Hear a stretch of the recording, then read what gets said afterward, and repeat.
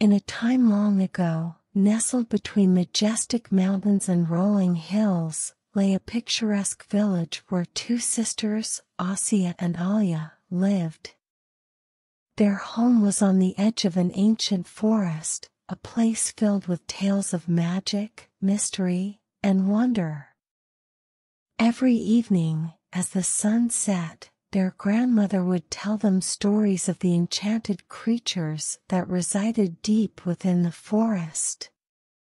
The sisters, with their insatiable curiosity, always dreamt of exploring its depths. One bright morning, they decided it was time for their own adventure. They meticulously packed a picnic basket with homemade sandwiches, fresh fruits, pastries, and a flask of their grandmother's special lemonade. As they ventured into the forest, the world around them seemed to change. The trees grew taller, their leaves shimmering in colors they had never seen before. The air was filled with a sweet fragrance and the distant sound of melodic singing. After walking for hours, they stumbled upon a hidden glade with a crystal clear lake in the center. The water sparkled, reflecting the colors of the sky. They decided this magical spot was perfect for their picnic. As they were laying out their feast, a soft whimper caught their attention.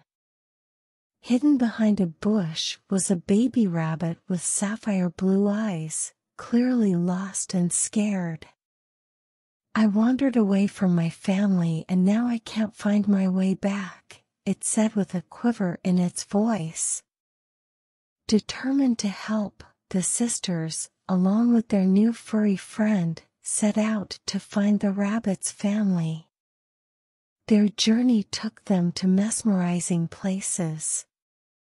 They crossed bridges made of intertwined vines, walked through meadows that glittered under the moonlight, and climbed hills that seemed to touch the clouds.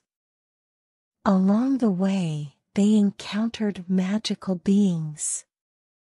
A wise old owl offered them advice, a playful squirrel shared his stash of golden acorns, and a group of dancing butterflies showed them the path when they felt lost.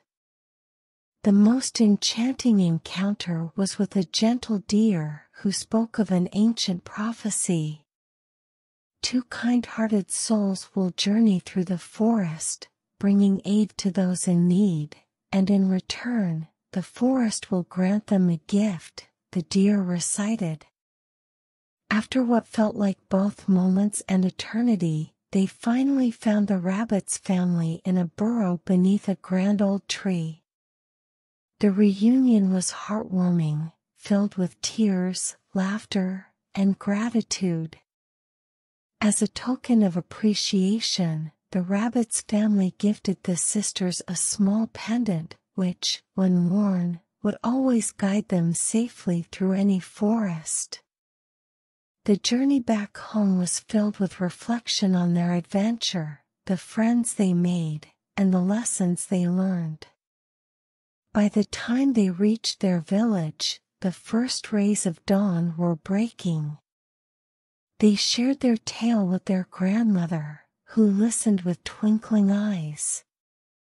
The forest has chosen you, she whispered, and with this gift, you are forever its guardians. And so, in the heart of the village, beside the ancient forest, Asya and Alya's legend was born.